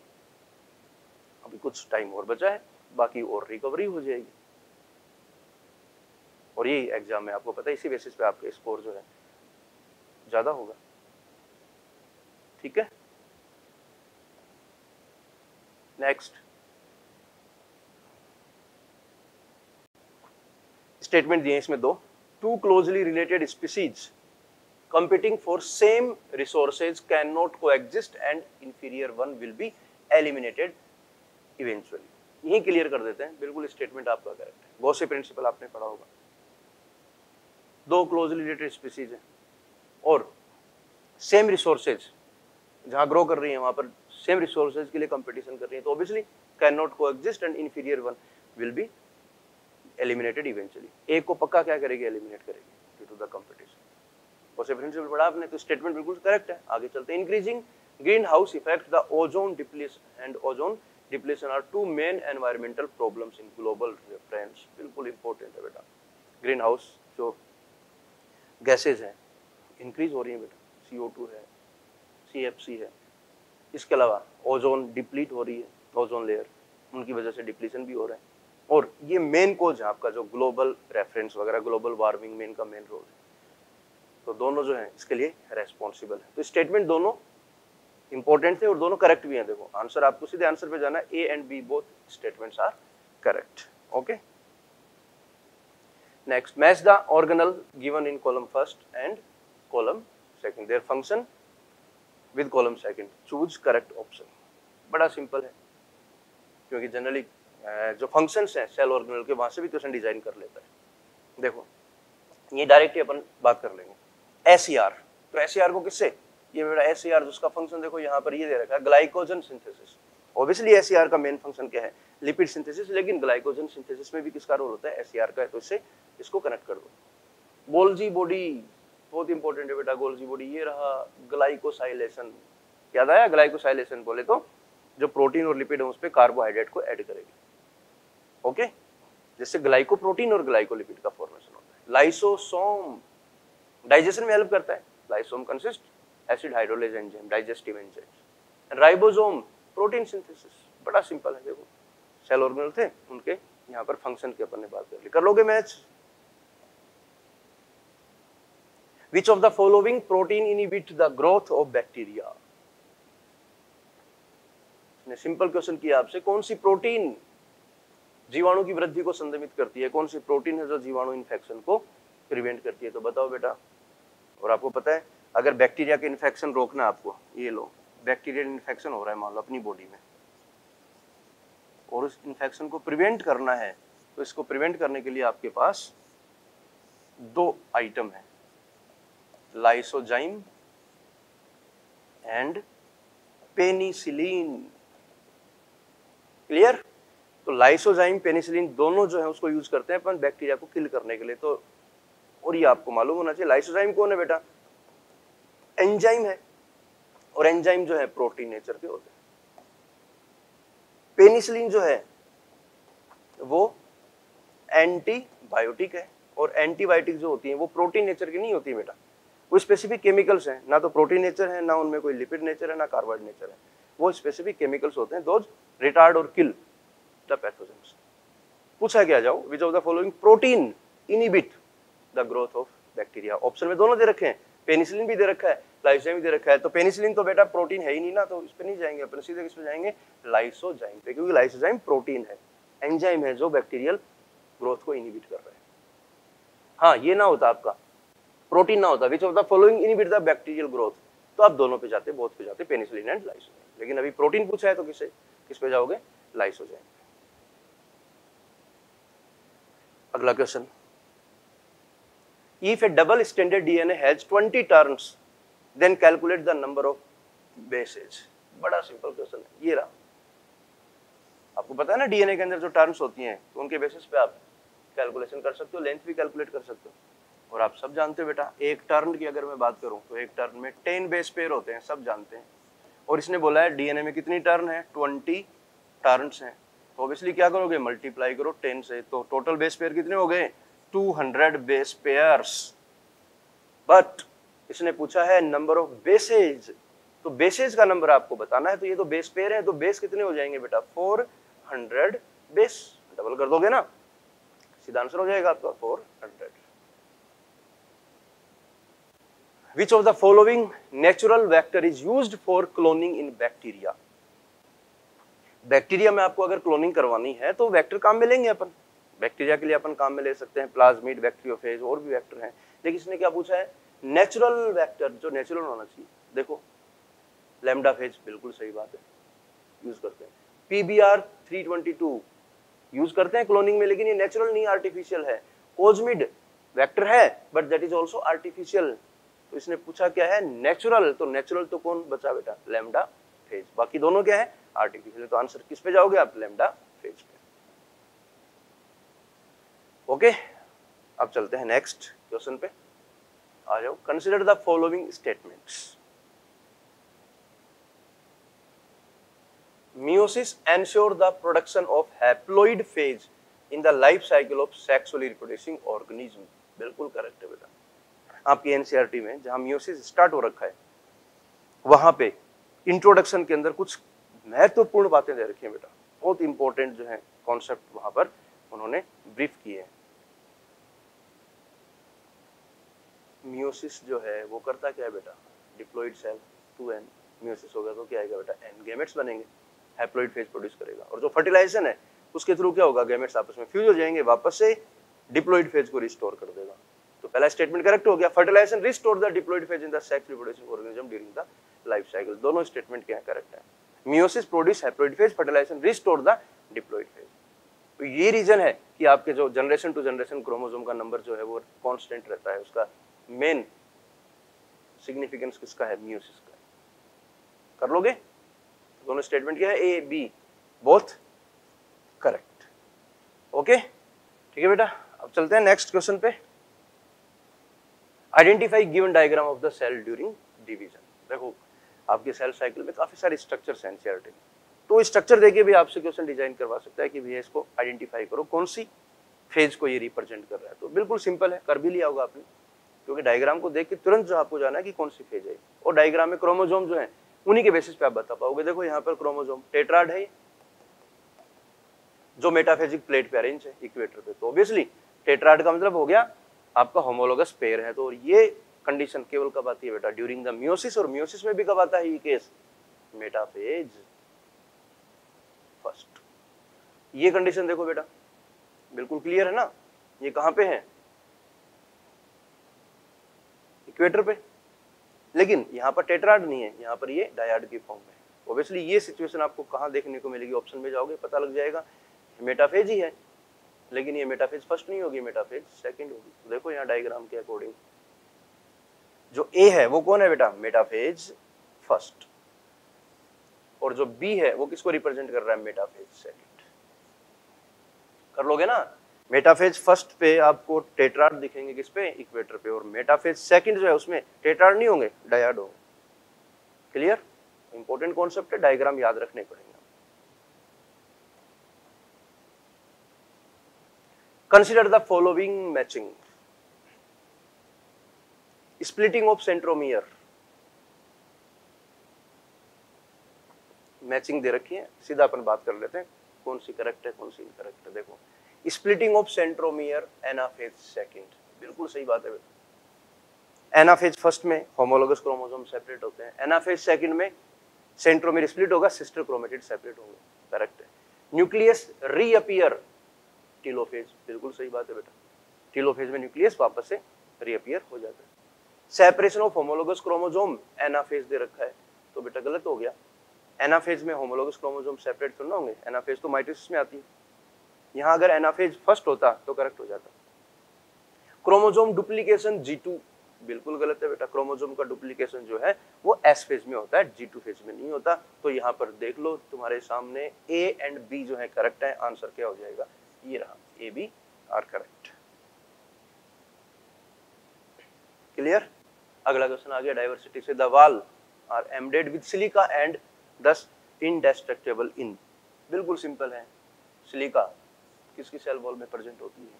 ऑब्वियसली डाई एटम्स मालूम है ना बेटा? सौ बॉक्स लाइक स्ट्रक्चर होती है ना ये? और जो सेल वॉल है, वहाँ पर कौन प्रेजेंट है? सिलिका प्रेजेंट है। और इतनी स्ट्रॉन्ग होती है, तभी ये जो सेल वॉल है, कैसी होती है बेटा? इनकी इंडेस्ट्रक्टेबल होगी। ठीक है?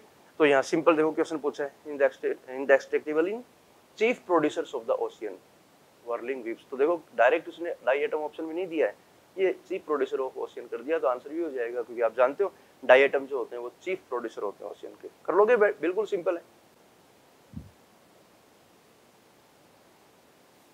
Sporophyte is not free living but attached to the photosynthetic dorsiventral thalloid gametophyte and derive nourishment it in the life cycle. बिल्कुल सिंपल क्वेश्चन है आपकी। ब्रायोफाइट से रिलेटेड तो आप जानते हो ना बेटा, जो ब्रायोफाइट में आप पढ़ते हो, आपके जो मार्केंसिया वगैरह जो होते हैं लीवर बर्ड्स जो होते हैं, वहाँ पर क्या है ये? इनकी जो बॉडी होती है, कैसी होती है बेटा? डोर्सीवेंट्रल थैलोइड गेमेटोफाइटिक बॉडी है। जब लाइफ साइकिल होगा तो उसमें स्पोरोफाइट जो है, उसका फॉर्मेशन होता है। और आप जानते हो फ़ूड सीटा कैप्सूल ये कैप्सूल बनता है। और जो आपका स्पोरोफाइट है, वो डिपेंडेंट होता है। नरिशमेंट कहाँ से ऑप्टेन करेगा गेमेटो फाइट से? इसने पूछा क्या है, देखो photosynthetic dorsiventral thalloid obviously gametophyte is photosynthetic वो डोर्सी वेंट्रल है। And derive nourishment it in the life cycle of तो ये कब, ये तो है आपका स्पोरोफाइट और ये है गैमेटोफाइट बिल्कुल सिंपल क्वेश्चन है। और ये किसके लाइफ साइकिल में देखने को मिलेगा? मार्केंसिया जिनको तो होगा ही नहीं? फिनेरिया में आपको पता है लिफी स्टेज होती है, वहाँ पर आपको डोर्सी वेंट्रल लाइक नहीं दिखाई देगा। तो सीधा आंसर क्या होगा आपका? मार्केंसिया इज़ दैट क्लियर अब बेटा बात करेंगे अपन सेक्शन बी की। ये सेक्शन ए के सारे क्वेश्चन आपको अटेम्प्ट करने थे, कर लिए आपने। अब सेक्शन बी के अंदर टोटल जो क्वेश्चन है, वो 15 है, और 15 में आपको केवल 10 क्वेश्चन जो है वो अटेम्प्ट करने हैं। लेकिन यहाँ तो अपन सारे 15 क्वेश्चन का सॉल्यूशन करेंगे ओके ये रूल तो आपको क्लियर हो चुका होगा। ये पे, पेपर पैटर्न इसी बेसिस पे आ रहा है आपका। करें? चलो आगे। कंसिडर द फॉलोइंग ग्राफ बिल्कुल सिंपल है ग्राफ आपको यहाँ पर दिखाया गया है। इधर पॉपुलेशन है। ये टाइम है। इधर पॉपुलेशन डेंसिटी दे रखी है इधर टाइम दे रखा है। और ग्राफ मेरे ख्याल से क्लियर हो रहा होगा सिग्मोइड है बेटा। ये आपका लैग फ़ेज़ है ये लॉग फ़ेज़ है स्टेशनरी फ़ेज़ है। क्लियर और सिग्मोइड जो कर्व है बिल्कुल रियलिस्टिक होता है। ऑब्वियसली वहाँ पर जो रिसोर्सेज हैं, वो अनलिमिटेड नहीं है लिमिटेड होते हैं। S curve of growth is typical of most living organism in their natural environment बिल्कुल करेक्ट स्टेटमेंट है बेटा। रियलिस्टिक यही होता है सिग्मोइड क्योंकि एनवायरमेंट में आप देखोगे, जो रिसोर्सेज हैं, उनकी लिमिटेशन है। एक कंडीशन आएगी जहाँ पर स्टेशनरी फ़ेज़ आएगी। और सिग्मोइड कर्व में क्या होगा बेटा लेग फ़ेज़ जहाँ पर इनिशियली जो है ग्रोथ कम होगी। फिर लोग फ़ेज़ एक्सपोनेंशियल फ़ेज़ में जाने के बाद जो है ग्रोथ जो है हाई रेट से होगी। और उसके बाद में फिर वो क्या करेगा बेटा उसको? स्लो करेगा स्टेशनरी फ़ेज़ ताकि वो सस्टेन रहे लंबे टाइम तक। This sigmoid growth curve can sustain for long then the geometric growth बड़ा इंपॉर्टेंट है बेटा। जो सिग्मोइड ग्रोथ जो रिप्रेजेंट जो कर रहे हैं इंपॉर्टेंस यही तो है बेटा। काफ़ी लंबे टाइम तक अपने आप को सस्टेन रखते हैं। जियोमेट्रिक ग्रोथ की अगर बात कर रहे हैं अपन, मान लो जैसे भी है ऑब्वियसली यहाँ पर होगा क्या? अगर मान लो नेचुरल रिसोर्सेज है, उनकी लिमिटेशन है, और ये ग्रोथ अगर आ गई तो इतना हाई रेट हो जाएगी कि वो बहुत जल्दी रिसोर्सेज को कंज्यूम कर लेंगे, और सर्वाइवनेस क्या हो जाएगी, कम हो जाएगी। वो अपने आप को लंबे टाइम तक सस्टेन नहीं कर पाएँगे। तो स्टेटमेंट ये भी क्या हो गया? करेक्ट हो गया। दोनों स्टेटमेंट क्या है? करेक्ट है? चले जाओगे? आंसर पे। Clear next in some members of Rosaceae, Leguminaceae and Solanaceae, pollen grain maintain viability for months due to ये आपकी एनसीआरटी का स्टेटमेंट दे रखा है वहाँ पर पोलन ग्रेन जो होती है इनकी वाइबिलिटी बहुत कम होती है। किसी की कुछ मतलब बहुत कम ड्यूरेशन की होती है। लेकिन यहाँ पर लेग्यूमिनेसी रोजेसी और सोलेनेसी कुछ एग्ज़ाम्पल हैं जिसके अंदर जो पोलन ग्रेन की वाइबिलिटी मंथ मंथ तक हो सकती है कुछ महीनों तक हो सकती है। उसका रीजन क्या है देखो? उनमें कुछ स्पेसिफिक प्रोटीन्स प्रेजेंट होती हैं। जो उसकी वाइबिलिटी को मेंटेन रखती है। और मेन यही है स्पोरोपोलिन जो उनका उनसे कोई रिलेशन नहीं वाइबिलिटी का उससे कोरिलेशन नहीं होता, वो तो उसको हार्डनेस प्रोवाइड करवाता है। पैक्टोसेलोज नहीं होगा टेक्टम नहीं होगा। जो स्पेसिफिक प्रोटीन्स हैं, उनकी प्रेजेंस में उनकी जो वाइबिलिटी है, वो क्या होती है बेटा? ज़्यादा होती है। और इंपॉर्टेंट कॉन्सेप्ट है ये, तभी आपकी एनसीआरटी से पिक किया है इसको due to the specific proteins कर लोगे? ट्रोफिक लेवल रिप्रेजेंट बिल्कुल सिंपल है। ट्रॉफिक लेवल आपने पढ़ा है, इकोलॉजी के अच्छे कॉन्सेप्ट्स हैं। जहाँ पर ट्रॉफिक लेवल में आप प्राइमरी प्रोड्यूसर की बात करते हो, फिर प्राइमरी कंज्यूमर होते हैं सेकेंडरी कंज्यूमर होते हैं टर्सरी कंज्यूमर होते हैं टॉप कंज्यूमर पे आप जाते हो। तो ऑब्वियसली हर एक ट्रॉफिक लेवल पे जो है, काफ़ी सारी क्या होती है, उस ट्रॉफिक लेवल में स्पीसीज होती हैं। कम्युनिटी लेवल पे आप बात करते हो। तो ट्रॉफिक लेवल की अगर अपन बात करें, जैसा भी आपका जो क्वेश्चन स्तर जो डिज़ाइन करते हो trophic level T one T two सारी तो एक ट्रॉपिक लेवल की अगर मैं बात करूँ तो इसमें क्या परसेंट है बेटा? ऑब्वियसली कम्युनिटी परसेंट है। इसने ऑप्शन में only population never ecosystem ecosystem की बात नहीं करेंगे कम्युनिटी लेवल पे जाएँगे। More than one type of species हो तो गया बेटा more than one type of species मतलब वहाँ पर एक कम्युनिटी प्रेजेंट होगी। और मेरे ख्याल से सिंपल है, इसमें दिमाग क्या लगाना है? यहाँ पर मान लो प्राइमरी प्रोड्यूसर्स हैं तो डिफरेंट टाइप के हो सकते हैं। प्राइमरी कंज्यूमर है मान लो यहाँ पर। हर्बीवोर्स है तो हर्बीवोर्स भी क्या है? वेरियस टाइप के। अलग अलग स्पीसीज के। कर लोगे? बिल्कुल सिंपल क्वेश्चन है। प्रोड्यूसर एंड कंज्यूमर बोथ तो एक टॉपिक लेवल में प्रोड्यूसर कंज्यूमर एक साथ नहीं हो सकते। Clear answer third choose the incorrect statement with respect the following diagram बिल्कुल सिंपल है। देख के लग रहा होगा बेटा ये आपका जो कोलेन काइमा है उसको रिप्रेजेंट कर रहा है। क्लियर एनसीआरटी का डायग्राम आपका। It occurs in layer below epidermis in root of dicotyledon plant इसमें गलत कोई आपको क्या करना है? सेलेक्ट करना है। और पहला स्टेटमेंट देखो बेटा। यह है द्विबीजपत्री पादपों की जड़ों में भाई ये त्वचा के नीचे परतों में होता है। बेटा, यही गलत हो गया। क्योंकि आपको पता है ना, कोलन काइमा जो है वो रूट्स में होता ही नहीं है, बात खत्म। कहाँ होगा? यंग स्टेम में होता है एपिडर्मिस के नीचे। इन यंग स्टेम ओडी में भी नहीं होता। तो यहाँ पर इसने क्या दिया है? The root of dicotyledon plant तो ये स्टेटमेंट क्या हो गया? इनकरेक्ट हो गया। It usually has high refractive index बिल्कुल करेक्ट है। Cell wall possess uneven thickening of cellulose pectin and semi बिल्कुल करेक्ट है। It is a living mechanical tissue बिल्कुल करेक्ट है। फ़र्स्ट स्टेटमेंट बिल्कुल रॉन्ग हो गया, क्योंकि ये रूट में प्रेजेंट नहीं होता। If a gram positive bacteria is treated with lysozyme enzyme and placed in hypotonic solution then. बिल्कुल सिंपल है बेटा, ये आपका ग्राम पॉजिटिव बैक्टीरिया है, आपको पता है ग्राम पॉजिटिव में ये सेल वॉल है ना? और सेल वॉल किसकी बनी है? पेप्टिकोलाइगेन किसको किससे ट्रीट कराओगे? लाइसोजाइम से लाइसोजाइम से ट्रीट कराओगे तो सेल वॉल डाइजेस्ट हो जाएगी। ये बैक्टीरिया बचेगा जिसको बोलते हैं protoplast okay without cell wall अब इस प्रोटोप्लास्ट को हाइपोटोनिक सॉल्यूशन में प्लेस करोगे तो क्या होगा बेटा? एंडोस्मोसिस होगा। वाटर इनसाइड जाएगा एंडोज में होगा तो ये स्वेल होगा और ब्रस्ट हो जाएगा तो बड़ा सिंपल है it will burst simple concept था ना? सेलेक्ट द इनकरेक्ट पेयरिंग देख लो बेटा पेयरिंग के अकॉर्डिंग बात कर रहे हैं। BAC and YAC use in H बहुत इंपॉर्टेंट है बेटा। ह्यूमन जीनोम प्रोजेक्ट में कौन से वेक्टर काम में लिए गए थे? बैक एंड यैक और होस्ट सेल की बात करें तो bacteria and yeast DNA probe use in DNA fingerprinting बिल्कुल सही है, डीएनए फिंगरप्रिंटिंग में डीएनए प्रोब यूज़ करते हैं। वीएनटीआर को यूज़ करते हैं एज ए प्रोब और वीएनटीआर क्या है बेटा? DNA EtBr ethidium bromide dye use in gel electrophoresis बिल्कुल सही है। डीएनए को अगर विजिबल करना है, देखना है तो आपको इथिडियम ब्रोमाइड से स्टेन करवाना पड़ेगा। Protein probe use in PCR PCR में कहा प्रोब काम में लेते हैं बेटा?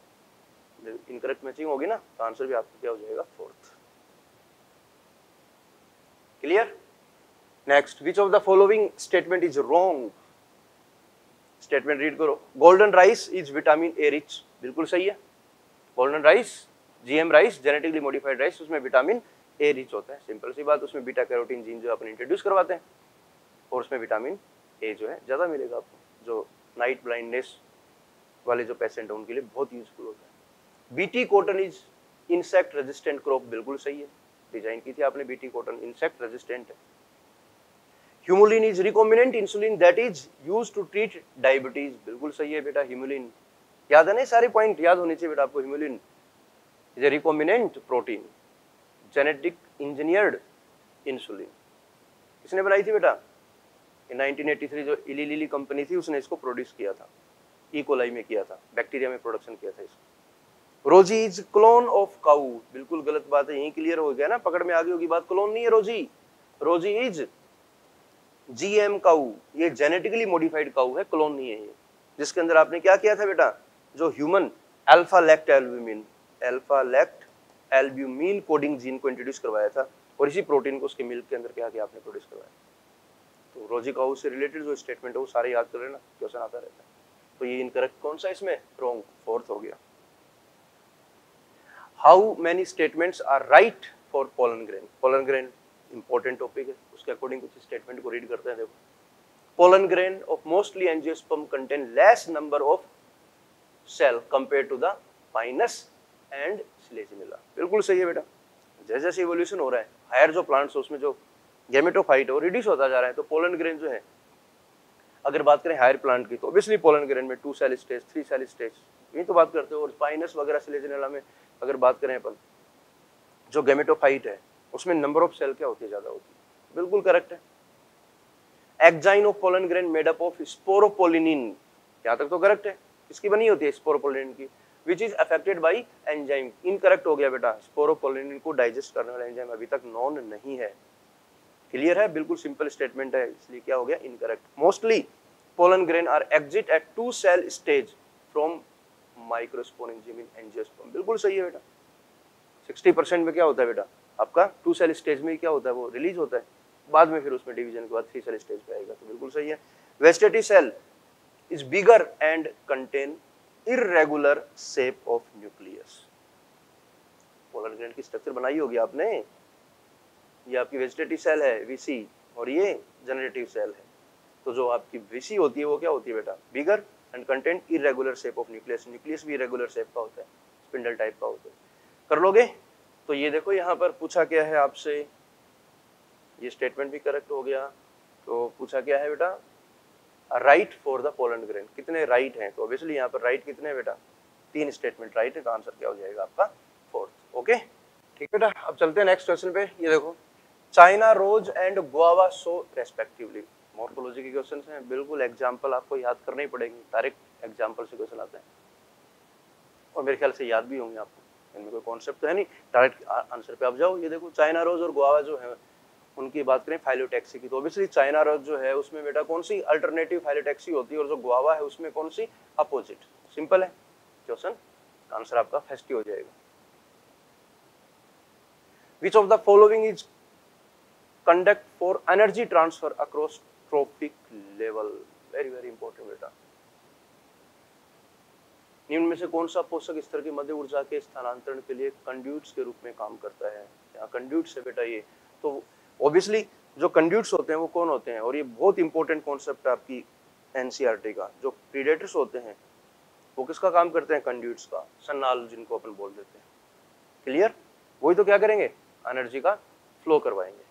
जैसे आपने पढ़ा होगा ना प्रीडेटर जो है, वो प्रूडेंट भी होते हैं और कंड्यूट्स का काम भी करते हैं। प्रूडेंट का मतलब विवेकशील भी होते हैं कि अपने प्रे को जो है बैलेंस रखना, ताकि पॉपुलेशन उसकी मेंटेन रहे। ठीक है? और कंड्यूट का काम भी करते हैं। तो थोड़ा सा इंपॉर्टेंट टर्मिनोलॉजी का स्टेटमेंट है। कर लोगे? कंड्यूट्स कौन होते हैं? आपके प्रीडे प्रीडेशंस प्रीडेटर ठीक है? Next in hydrarch succession reed swamp stage is preceded by important है। पूरा एनसीईआरटी में आपके पूरा हाइड्रार्क का चार्ट दे रखा है। कौन कौन सी स्टेज आती है? और उससे क्वेश्चन डिज़ाइन किया है? स्वच्छ जल अनुक्रमण में जड़ अनुप अवस्था से पहले आती है, पहले की बात की है। तो मेरे ख्याल से आपको याद होगा, सबसे पहले कौन आता है बेटा? फाइटोप्लैंक्टन आते हैं। डायग्राम दे रखा है ना आपकी एनसीईआरटी में इस तरह का? ये वाटर कंटेंट दिखा रखा है। सबसे पहले कौन आएँगे? फाइटोप्लैंक्टन उसके बाद में कौन आते हैं बेटा? जो सबमर्ज प्लांट होते हैं। बड़ा सिंपल है। रूटेड सबमर्ज प्लांट आते हैं। जैसे रूटेड आएँगे, ये देखो रूटेड सबमर्ज प्लांट उसके बाद में आपके फ्लोटिंग सबमर्ज प्लांट आएँगे। क्लियर? फ्लोटिंग, और उसके बाद में फ्री फ्लोटिंग वाले आएँगे। बिल्कुल सिंपल है ना? ये सीक्वेंस जो बता रहा हूँ, आप एनसीआरटी से देख सकते हो, मैं वैसे आपको रफली बता देता हूँ। और उसके बाद में फ्लोटिंग स्टेज के बाद में कौन आते हैं बेटा? आपके रीड स्वेम पाएँगे। रीड स्वेम के बाद में कौन आएँगे बेटा आपके? मार्स मेडो उसके बाद में स्क्रब आ जाएँगे बड़े बड़े ट्री आएँगे, उसके बाद में फॉरेस्ट का फॉर्मेशन हो जाएगा। तो आपसे क्वेश्चन सिंपली यही पूछा है कि जड़ अनूप अवस्था से पहले जो है, कौन आते हैं? तो उससे पहले कौन सी स्टेज आती है बेटा? फ्लोटिंग स्टेज कर लोगे? सिंपल था। इसमें देखो, ये कुछ डेटाबेस दिए हैं। ये ईयर वगैरह कई बार पूछ लेता है which of the following option represent correct matching pair इनको याद कर लेना बेटा। यहाँ तो आपके पास ऑप्शन हो सकता है, लेकिन वहाँ ऑप्शन नहीं होगा। ठीक है? तो मैं डायरेक्ट आपको बता देता हूँ, यहाँ पर ये किस तरह से आपको याद रखना है। क्लियर ये देखो यहाँ इसको मैच कर देता हूँ। क्लियर तो ये ईयर आपकी एनसीआरटी में दे रखे हैं। और कई बार पूछ भी लेता है तो इनको ध्यान में रखना आप, है ना? कर लोगे? ये जो आपका नेशनल एनवायरमेंटल जो एक्ट है, वो कब की बात है बेटा? इसको किससे मैच करोगे? 1987 एयर एक्ट ये रहा आपका 1986 मॉन्ट्रियल प्रोटोकॉल किससे कनेक्ट कर दोगे? 1981 एंड क्योटो प्रोटोकॉल कनेक्ट कर दोगे? 1996 ईयर है? इसलिए डाल दिया कि थोड़ा इनको याद रखें। क्लियर तो यहाँ पर सिंपल है। आपका आंसर भी कौन सा हो जाएगा बेटा यहाँ पर?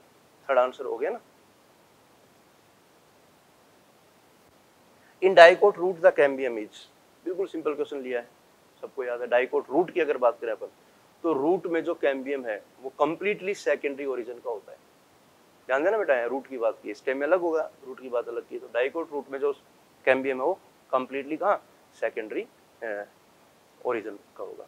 और मेरे ख्याल से स्ट्रक्चर वगैरह सब आपको याद होंगे बेटा वहाँ स्टडी करते हो, आपका फ्लोएम है जाइलम है, यहाँ पर पेरीसाइकिल यहाँ से परमानेंट है ना पीपीटी जो है तो उनसे आपका कैम्बियम डेवलप होगा। यहाँ पर कंजक्टिव टिश्यू होता है ये।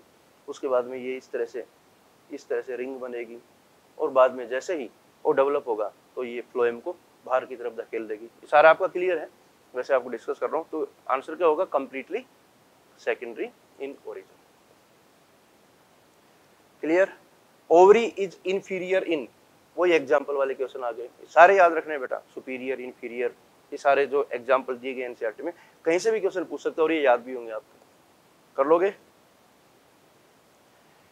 How many are example of ex situ conservation ये एग्ज़ाम्पल दिए हैं एक्सी टू कंजर्वेशन जो है आप सब जानते हो in situ ex situ तो एक्सी टू कंजर्वेशन के लिए कौन कौन से प्रीफरेबल हैं तो आप बताओगे बेटा मेरे को जूलॉजिकल पार्क बिल्कुल सही है एक्सी टू कंजर्वेशन होता है बोटनिकल गार्डन में भी एक्सी टू होता है wildlife safari ex situ होता है सीड बैंक एक्सी टू होता है नेशनल पार्क में नहीं होगा ex situ biosphere reserve में नहीं होगा सेंचुरी में नहीं होगा तो एक्सी टू के लिए यहाँ पर कौन है preferable zoological park botanical garden wildlife safari seed bank okay total कितने हो गए यहाँ पर? फोर हो गए। तो आंसर हो जाएगा आपका फोर ठीक है बेटा? तो ये हो गए आपके क्वेश्चन सारे। बिल्कुल एनसीईआरटी से रिलेटेड क्वेश्चन थे। मैं फिर कर रहा हूँ बेटा पेपर जैसे लेवल का आता है। जिस लेवल का पेपर आता है, उसी लेवल के आपके क्वेश्चन मार्क्स आने चाहिए। अगर पेपर बिल्कुल थ्रू आउट एनसीईआरटी है सिंपल है एग्ज़ाम्पल वगैरह वही है एनसीईआरटी के तो ऑब्वियसली आपके मार्क्स हंड्रेड आने चाहिए बेटा। नाइन्टी फाइव भी नहीं, हंड्रेड परसेंट। अगर उसमें कोई एक आध क्वेश्चन गलत हो रहा है तो इसका मतलब कहीं ना कहीं अभी भी कहीं ना कहीं लेकुना है। और उसको आपको फुलफिल करना ही पड़ेगा। क्वेश्चन गलत क्यों हो जाए बेटा? इतनी मेहनत की है, क्वेश्चन गलत होता है तो उसका बहुत दर्द होता है। और ये दर्द जब तक नहीं पालोगे, तब तक मार्क्स अच्छे नहीं आएँगे। टारगेट एक ही होना चाहिए, हंड्रेड परसेंट मार्क्स लाने बस। क्वेश्चन आए ना आए डजेंट मैटर कई बार क्वेश्चन थोड़ा कॉन्ट्रोवर्शियल हो तो भी आप अपना दिमाग लगाओ ना। आपको सही अप्रोच पे जाना ही पड़ेगा, क्योंकि मार्क्स आपको लेने हैं। क्लियर ओके तो ये आपका डीसीएम का कौन सा था? मेजर सिक्स हो गया। और बाकी सारे कंटिन्यू करने हैं। जब तक एग्ज़ाम नहीं होता, तब तक आपको इसी लेवल पे कंटिन्यू स्टडी करनी है। और माइंड को कूल रखना है, बिल्कुल फ्रेश रहना है कॉन्फिडेंट रहना है। और इसी का रिज़ल्ट होगा कि आपका जो रिज़ल्ट है काफ़ी बेटर आएगा। Okay all the best